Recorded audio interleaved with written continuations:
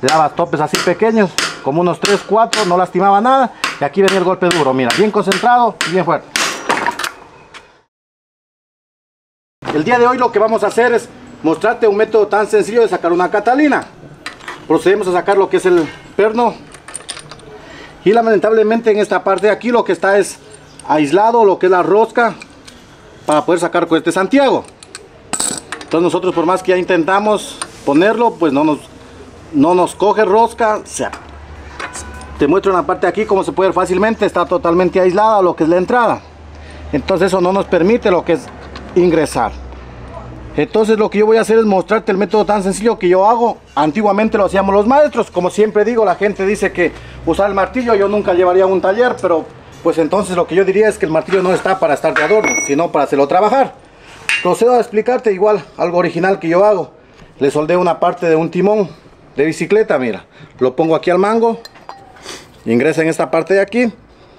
Como ves, mira, ingresa nosotros le pusimos este ajustador en la parte de aquí, perdón, el diseño del manubios con este ajustador. Le ajustamos bien. Ya nos ha quedado un martillo al puro estilo de Chinos Bike, listo para dar golpe fuerte.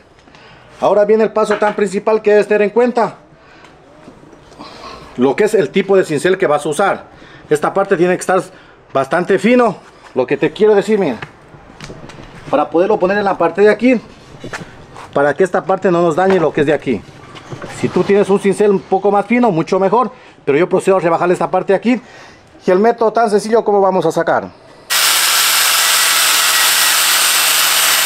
Limé de esta parte, ahora procedo a limarle del otro lado.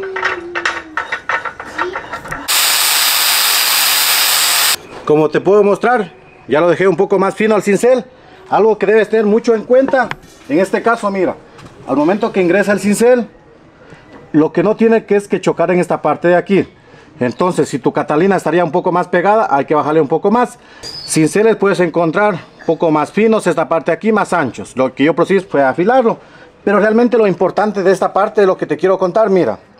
Recuerdo cuando yo estaba empezando en este mundo del ciclismo. Porque nosotros en esos tiempos, hace 15, 20 años atrás, no había lo que era el Santiago. Recuerdo que uno tenía la costumbre de dar golpes así por dar, no, tan, tan sin sentido, como se puede decir. Pero es la pasión, el amor que uno le va poniendo, porque mi maestro era tan técnico que él tan solo lo que cogía era así, mira. Lo ponía aquí y lo que hacía era daba. Siempre topes pequeños, yo siempre recuerdo esas partes. Le daba topes así pequeños, como unos 3, 4, no lastimaba nada. Y aquí venía el golpe duro, mira, bien concentrado y bien fuerte. Técnicas que tú dirás que tal vez yo estoy haciendo montajes, jamás realmente porque lo que busco es mostrarte, ayudarte. Si ves, Tan sencillo de sacar una Catalina. Es una técnica casera que yo te mostré. En este caso no perjudiquen nada a la Catalina. Porque solo lo que le dimos el golpe es al filo. Realmente no vamos a torcer. Una experiencia que le hemos ido adquiriendo día a día.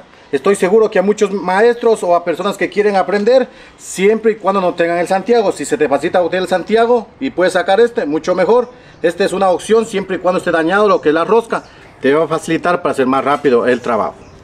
En un próximo video te estaré mostrando técnicas, fórmulas antiguas, porque hoy en día es muy sencillo cambiar lo que es una parte. Recuerdo muy claramente, en nuestros tiempos era toda parte usada, torcida, había que enderezar. No dejes de ver el próximo video.